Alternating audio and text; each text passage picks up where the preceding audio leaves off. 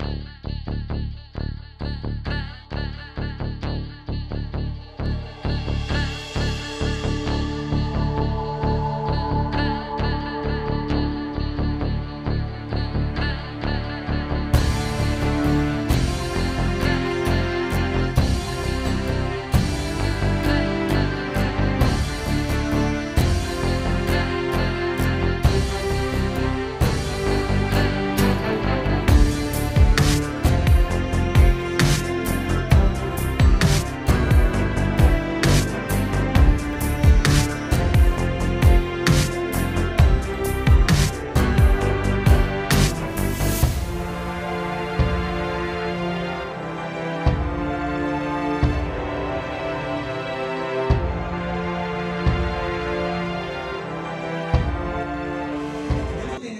Mostly it. it was organized by